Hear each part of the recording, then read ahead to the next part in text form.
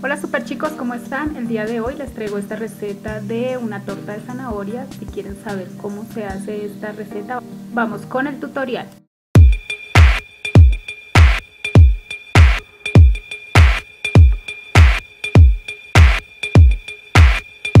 Y bueno, super chicos, los ingredientes que vamos a necesitar es mantequilla, harina de trigo, polvo para hornear, dos zanahorias, eh, vainilla, esencia de vainilla, aceite, dos huevos, azúcar y sal.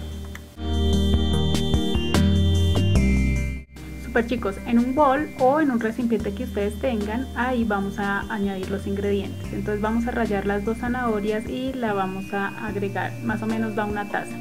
En la misma taza que ustedes midieron la zanahoria vamos a, eh, a medir una taza de harina y la vamos a cernir para que la mezcla quede esponjosita. Vamos a agregar una cucharadita pequeña de polvo para hornear, una pizca de sal, dos cucharadas de azúcar. Luego, luego de agregar los ingredientes vamos a cernir todos los ingredientes secos. Vamos a agregar una cucharadita de esencia de vainilla. Si a ustedes no les gusta la vainilla pueden omitir este paso. Luego vamos a agregar 11 cucharadas de aceite de cocina. Ustedes pueden agregar el aceite que ustedes más prefieran. De ahí vamos a agregar los dos huevos y vamos a mezclar.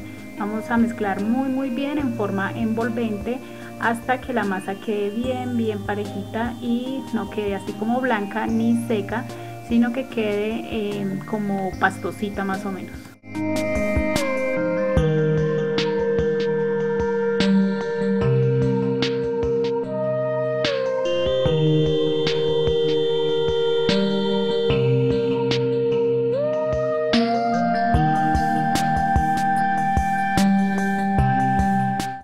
Así nos tiene que quedar la mezcla.